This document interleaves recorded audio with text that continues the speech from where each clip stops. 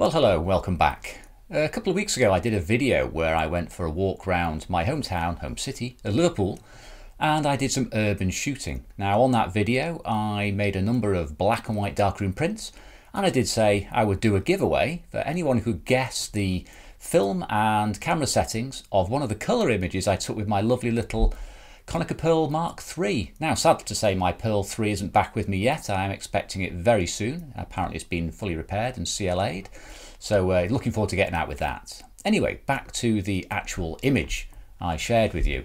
Now this is the image here of a bit of graffiti, very nice graffiti. I mean, more of a more of a wall art, to be honest.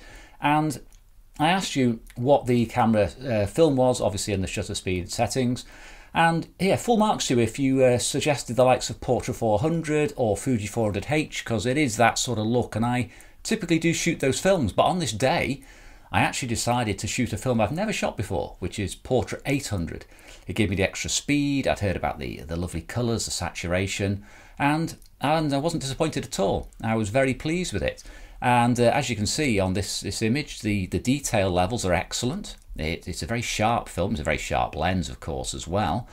And uh, everything came out very, very nicely. I was very, very happy with it. Um, another image here taken uh, on the same day, just to give you an idea of the sort of uh, the sort of sharpness I'm getting with this camera as well. It's only scanned with an Epson V700, so nothing special. But uh, yeah, look at that, lovely and sharp just detail everywhere and a very fine grain pattern very fine grain indeed this is a pretty big enlargement but unfortunately, only one of you actually got this right. Only one person guessed the correct settings as well as the film. Now, that person was Jouni from Finland, a beautiful country. I've only ever visited Finland once a couple of years ago, spent some time in Helsinki, and I'd absolutely love to go back again. So it was a Portra 800 shot, f8, 1 250th of a second. Now, that was something I didn't expect to do on the day. I thought I'd be shooting at higher shutter speeds, but it's surprising when you get into some shaded areas just how how uh, dull it can be. And that Portra 800 gave me the extra flexibility I needed. Yes, I could have got away with Portra 400, but uh, I was keen to experiment. So again, congratulations if you had shot, uh, sorry, if you had recommended one of the uh, faster color negative films, because it's definitely that look. And that is the sort of look I will be going for with this camera.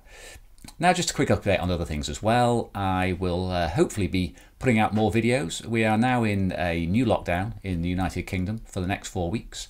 However, uh, due to my uh, rather slow, glacial uh, pace of delivery of videos, I do have a, a, backlog. I have some which were recorded before the lockdowns in Wales and England, uh, so they can come out over the next few weeks. Got a bit of darkroom content as well. Looking forward to putting that out. And yes, um, just general, uh, you know, sort of chit chat and photography. And by the way, if you're interested in anything like uh, prints, uh, you know, if you have a certain print you would be interested in having it made up uh, at a custom size, just let me know and we can chat about it. Um, I do put them on my Etsy shop from time to time. But I do appreciate that they may not be the ones that people like. You may like other prints. You may want to see other images, even colour ones as well. Quite happy to make colour prints up to uh, sort of panoramic 36 inch wide or A2 if you're interested. So I won't keep you any longer. Uh, thanks very much for putting all your suggestions in for the video, and I do hope you uh, come back and uh, watch the rest of my content over the coming weeks while we're uh, all stuck in, certainly in the United Kingdom. And uh, yeah, stay safe, and I'll see you soon.